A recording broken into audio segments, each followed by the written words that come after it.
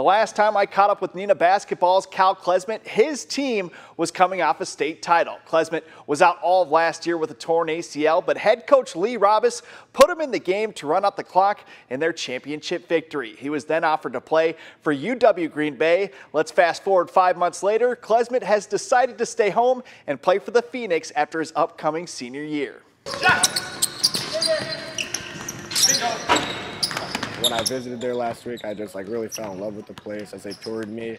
Uh, you know, it's just a great place with great people. Uh, you know, their coaching staff is great, and I just can't wait to get there, get to work, and see what happens.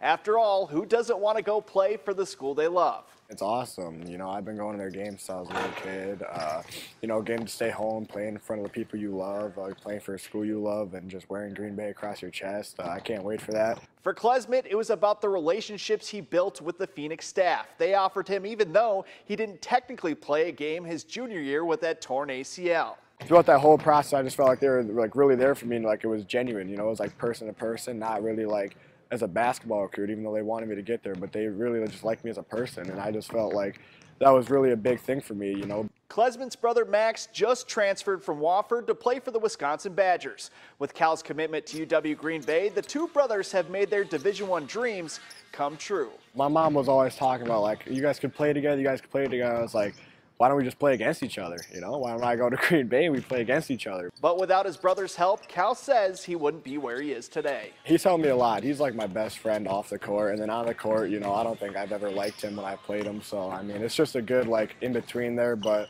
uh, yeah, he's helped me a lot. He's really, I would not be the basketball player I am today without him. He's just really made me the person I am today, the basketball player I am today. Cal said he's excited to possibly play his brother Max in the 2023 season, but right now he's focusing on helping the Rockets make another run to the state tournament.